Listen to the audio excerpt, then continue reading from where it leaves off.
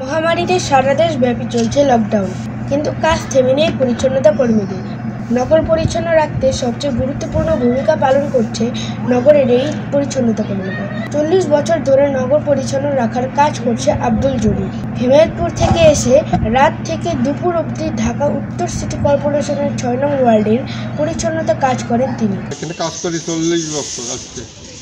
উনিশশো তিরাশি সালের আগে হাঁটছি কিন্তু মানে কাজ করলে পয়সা না করলে না কোনো পেনশন নাই। আমরা রাত্রে তিনটে বার যাই আইসা আইসা তিনটে হইতে দুইটা পর্যন্ত কাম করি।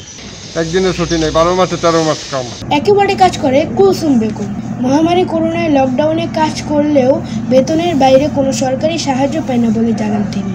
পাঁচটা থেকে বারোটা পর্যন্ত কাজ করি আমাকে শুধু বেতন আর কোনো কিছু নেই। সরকার থেকে আমরা কোনো হেল্প পাই না। একেবারে কাজ করেন সাহারা খাতুন। গাবতলে বেরিবার থেকে এসে কাজ করেন তিনি। যে টাকা আয় হয় তাই দিয়ে সংসার চলে তার। নাই দিয়ে সংসার চলে কষ্ট। কখনো রাতে আবার কখনো ভোরে। শহরের বিভিন্ন রাস্তায় কাজ করতে দেখা যায় পরিচ্ছন্নতা কর্মীদের। আয়তুল ইসলাম শ্রী হ্যারোডাট বিরুল সড়ক